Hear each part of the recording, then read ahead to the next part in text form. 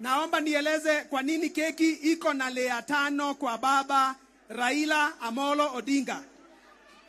Lea ya kwanza imeandikwa 1964 to 1978. It represents the first regime of Mzee Jomo Kenyatta. The second layer runs from 1979 to 2002, representing President Daniel. Watu waketi tafadhali. Kuna shida gani? Tutasort hapo. Tutasort. Mnataka aje? Msipigane tafadhali. Tuta, tutasort hapo. Aya, baba hoye! Baba hoye! Bas, sasa leo ni birthday ya baba.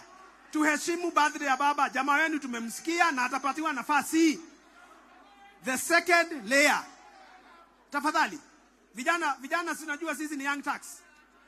Aya, sawa sawa. Basi tuseme hivi. The second layer. The second layer of the cake. The second, the second layer of the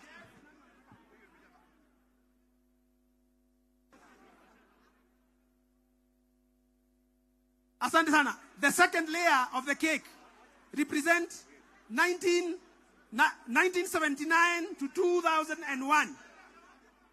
Moi. Moi was the president at that time. The third layer, the, the, the, the fourth layer,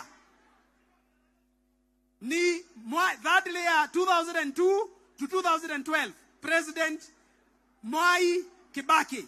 The fourth layer represent the current regime of our government, which Muigai Kenyatta. Sasa mimi nataka niulize vijana, ile lea ya tano tumeweka pale, mnajua mwenyewe? Basi mimi sijasikia vizuri.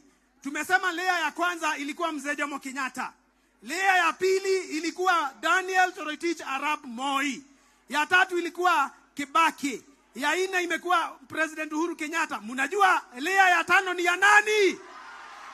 Mnajua ni ya nani?